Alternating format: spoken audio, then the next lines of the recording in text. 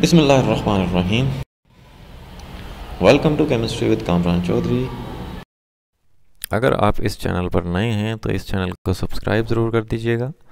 साथ bell icon को लाजमी प्रेस कर दीजिएगा, ताकि आपको आने वाली हर नई वीडियो का नोटिफिकेशन मिलता रहे। अच्छा जी।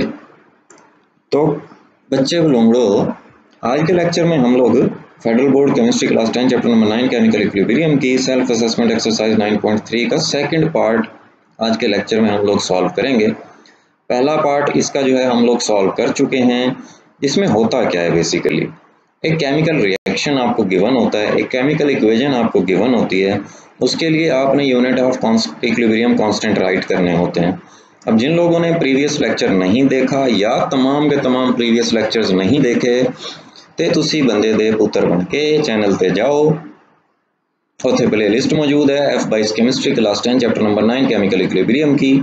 वहाँ पे आपको इस चैप्टर के तमाम के तमाम प्रीवियस लेक्चर्स मिल जाएँगे। ठीक हो गया?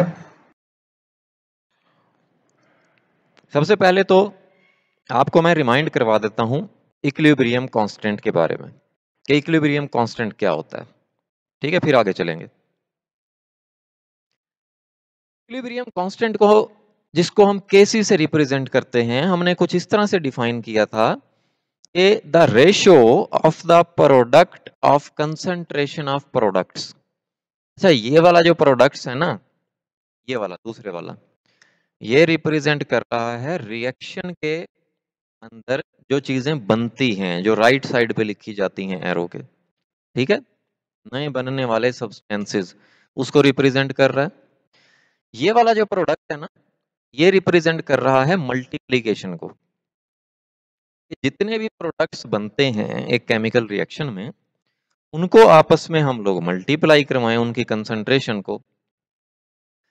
इस चीज़ से फिर डिवाइड करना है। To the product of concentration of reactants. जितने भी रिएक्टेंट्स हैं, उनकी कंसंट्रेशन को मल्टीप्लाई करेंगे और वो डिनोमिनेटर में लिखेंगे। ठीक है? मतलब नीचे वाली साइड पे लिखें each raised to the power equal to the coefficient in the balanced chemical equation, जिसको आप नंबर ऑफ़ मोल्स बोलते इक्वेशन में सब्सटेंसेस के नाल जेड़ा लिखा हुआ होंदा ना 1 2 3 4 ठीक वो बेसिकली रिप्रेजेंट कर रहा होंदा नंबर ऑफ़ मोल्स नु। फॉर एग्जांपल ये मैंने जनरल रिएक्शन लिया था, जिसमें हमने केसी डिराइव किया था। जिसमें ए और बी दो रिएक्टेंट हैं और ये स्मॉल ए और स्मॉल बी इनके नंबर ऑफ़ मोल्स को रिप्रेजेंट कर रहा है। ये देखो, ये डबल एरो रिप्रेजेंट कर रहा है रिवर्सिबल रिएक्शन को और दो प्रोडक्ट्स हैं हमारे पास सी और डी कैपिटल सी और डी जो है वो प्रोडक्ट्स को रिप्रेजेंट कर रहे हैं। ये सात स्मॉल सी और डी लिखे हुए हैं। ये रिप्रेजेंट कर रहे हैं नंबर ऑफ़ मोल्स को। ठीक है? फिर इस रिएक्शन के लिए हमने केसी डिराइव किया था और केसी का एक्सप्रेशन क्या आया था? केसी इज़ इक्वल टू ऊपर प्रोडक्ट्स की कंसंट्रेशन का प्रोडक्ट अब देखो ये सी और डी जो हैं, दो प्रोडक्ट हैं। जब आपने इनको स्क्वायर ब्रैकेट्स में लिख दिया तो इसका मतलब है आपने इनकी कंसंट्रेशन लिख रहे हो आप। और आपस में देखो ये दोनों मल्टीप्लाई हो रहे हैं। और पावर में ये जो स्मॉल सी और स्मॉल डी हैं, ये क्या है बेसिकली इनके नंबर ऑफ़ मोल्स ठीक है? जैसे यहाँ पे मैं, मैंने आपको बताया हुआ है कंसंट्रेशन ऑफ़ प्रोडक्ट डी ये रिप्रेजेंट कर रहा है, ये जो कैपिटल डी है स्क्वायर ब्रैकेट्स में लिखा हुआ है। इसी तरह कंसंट्रेशन ऑफ़ सी ये वाला लिखा हुआ है। इसी तरह कंसंट्रेशन ऑफ़ ए ये लिखा हुआ है। कंसंट्रेशन ऑफ़ बी ये लिखा हुआ है। ये जो small C D A B हैं, ये बेसिकली रिप्रेजेंट कर रहे हैं इनके नंबर ऑफ़ मोल्स ठीक है? तो ये हमने केसी को डिराइव किया था इसका एक्सप्रेशन और हमने डिफाइन किया था केसी को। तो भाई, अब आ जाते हैं हम लोग सेल्फ असेसमेंट एक्सरसाइज 9.3 के पार्ट नंबर टू की स्टेटमेंट के ऊपर। Determine the units of equilibrium constant for the following reaction reaction कौन सा है? रिएक्शन ये है हाइड्रोजन और कार्बन डाइऑक्साइड वो रिएक्ट कर रहे हैं। प्रोडक्ट क्या हैं? वाटर और कार्बन मोनोऑक्साइड ये आपको रिवर्सिबल रिएक्शन का सिंबल नज़र आ रहा है। यहाँ पे आप देखो, इस हाइड्रोजन के साथ कुछ नहीं है तो इसका मतलब है वन मोल है इसका। कार्बन डाइऑक्साइड के साथ भी यहाँ पे कोई कोफिशिएंट नज़र नहीं आ रहा आपको तो इसका मतलब है इसका भी वन मोल है। वाटर का भी वन मोल है। और यहाँ कार्बन मोनोऑक्साइड के साथ भी कुछ नहीं है तो इसका मतलब है one mole of carbon monoxide तो इस केमिकल रिएक्शन के लिए आपने unit of equilibrium constant write करना है।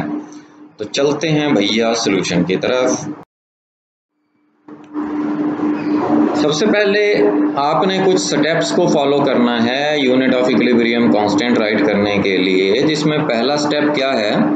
Write the equilibrium constant expression for this reaction इस दिए गए रिएक्शन के लिए सबसे पहले आपने केसी एक्सप्रेशन राइट करना होता है, जिसमें ऊपर न्यूमिरेटर में प्रोडक्ट्स की कंसंट्रेशन आ जाती हैं पावर में इनके नंबर ऑफ़ मोल्स आ जाते हैं, और नीचे डिनोमिनेटर में लैन थल्ले रिएक्टेंट्स की कंसंट्रेशन आ जाती हैं और पावर में उनके नंबर ऑफ़ मोल्स आ जाते हैं। किस तरह से राइट करना है? इस तरह से राइट करना है। दो प्रोडक्ट्स हैं H2O और CO तो दोनों को स्क्वायर ब्रैकेट्स में लिखेंगे, जिसका मतलब है हम इनकी कंसंट्रेशन की बात कर रहे हैं पावर में इनके नंबर ऑफ़ मोल्स राइट कर देंगे। नीचे रिएक्टेंट्स की कंसंट्रेशन लिखेंगे पावर में इनके नंबर ऑफ़ मोल्स राइट कर देंगे। ठीक है? नेक्स्ट स्टेप क्या होता है? अब आपने हर सिपिशी हर सब्सटेंस की जगह पे उसकी कंसंट्रेशन का यूनिट राइट करना है जो कि मोल पर डेसीमीटर क्यूब होता है। इसको दोनों तरह से लिख सकते हो। ठीक है? तो यहाँ पे वाटर की जगह पे भी मैं इस, इसकी कंसंट्रेशन का यूनिट लिख दूँगा। मोल पर डेसीमीटर क्यूब पावर में वन वैसे ही आ जाएगा। ठीक है? कार्बन मोनोऑक्साइड की कंसंट्रेशन की जगह पे भी मैं मोल पर डेसीमीटर क्यूब लिख दूँगा। पावर में वन वैसे ही आ जाएगा। इसी तरह हाइड्रोजन की जगह पर भी हम लोग मोल पर डेसीमीटर क्यूब लिखेंगे और कार्बन डाइऑक्साइड की जगह पे भी मोल पर डेसीमीटर क्यूब लिखेंगे। पावर में वन वैसे ही आ जाएगा। फिर हमने ये जो एक्सप्रेशन लिखा केसी का in terms of concentration units of concentration इसको हम सिंपलीफाई कर लेंगे। सिंपलीफाई कैसे करेंगे? देखो, यहाँ पे मोल पर डेसीमीटर क्यूब है, यहाँ पे भी मोल पर डेसीमीटर क्यूब है, दोनों की पावर वन वन है। तो पावर्स ऐड कर दूँगा मैं, क्योंकि बेसिस सेम है नीचे भी यही वाला काम करेंगे, ठीक है? कि मोल पर डेसीमीटर क्यूब ये वन प्लस वन तो ऊपर मोल पर डेसीमीटर क्यूब की पावर हो जाएगी टू और नीचे भी मोल पर डेसीमीटर क्यूब की पावर हो जाएगी टू ठीक है? तो ऊपर नीचे सेम एक्सप्रेशन है तो मैं इनको कट कर सकता हूँ। फाइनली केसी का कोई यूनिट नहीं होगा फॉर दिस रिएक्शन अच्छा प्रीवियस लेक्चर्स में मैंने आपको बहुत बार बताया हुआ है कि ये जो केसी से रिलेटेड एम सी क्यूज हैं, वो भी आ जाते हैं। अब अगर तो कोई ऐसा एम सी क्यूज आता है जिसमें केमिकल रिएक्शन दिया हो, गया हो और वो केसी का यूनिट पूछ रहा हो तो हमेशा याद रखना कि अगर रिएक्टेंट्स की तरफ़ total number of moles equal हों प्रोडक्ट्स की तरफ़ के नंबर ऑफ़ मोल्स के तो उस रिएक्शन के लिए केसी का कोई यूनिट नहीं होगा। जैसे देखो, यहाँ पे भी दो मोल्स हैं लेफ़्ट साइड पे, एक हाइड्रोजन का और एक कार्बन डाइऑक्साइड का। और प्रोडक्ट वाली साइड पे भी दो मोल्स हैं, एक वाटर का और एक कार्बन मोनोऑक्साइड का। तो इधर भी दो मोल्स इधर भी दो मोल्स तो ऐसे रिएक्शन के लिए केसी का कोई यूनिट नहीं होता। तो ये तो थी आपकी सेल्फ असेसमेंट एक्सरसाइज 9.3 का पार्ट नंबर दो। होपफुली लेक्चर आपको बहुत अच्छे से क्लियर हो गया होगा, फिर भी अगर आपका कोई क्वेश्चन है, आप नीचे कमेंट सेक्शन में मुझसे पूछ सकते हैं या ईमेल भी कर सकते हैं। वीडियो पसंद आई है तो चैनल को सब्सक्राइब ज़रूर कर दीजिएगा। वीडियो को लाइक एंड शेयर ज़रूर कर दिया करें ताकि दूसरों का भी कुछ भला हो जाए। Thank you very much for watching this video